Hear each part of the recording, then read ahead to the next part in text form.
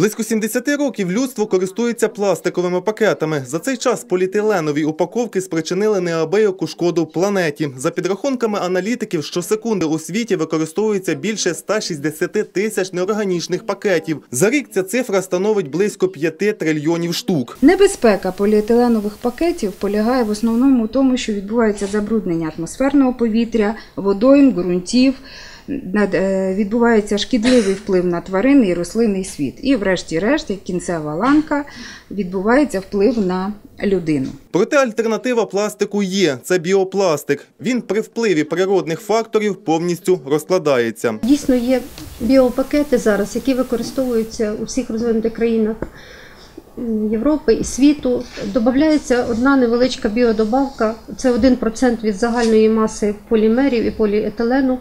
І називається вона D2V, не знаю, чи її так названо.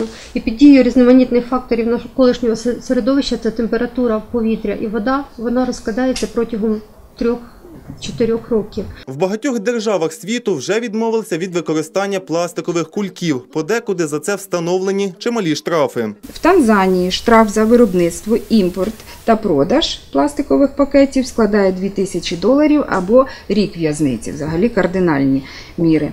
Ввезення пластикових пакетів тут також заборонено і у Занзібарі. Для зменшення кількості використання поліетилену та негативного впливу на середовище у Верховній Раді вже готується цілий ряд законопроєктів. Станом на сьогодні Міністерство екології е, розробляє закон, законопроект України е, про управління відходами.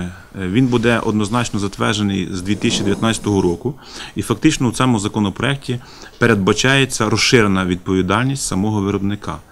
Це мається на увазі, якщо виробник виробляє самі пакети, наприклад, в нашому випадку, да, або тарепакувальні якісь матеріали, то він має однозначно забезпечити е, процедуру е, збору даних е, відходів Максим Посполіта, Ігор Павлюк. Головні новини Хмельниччини.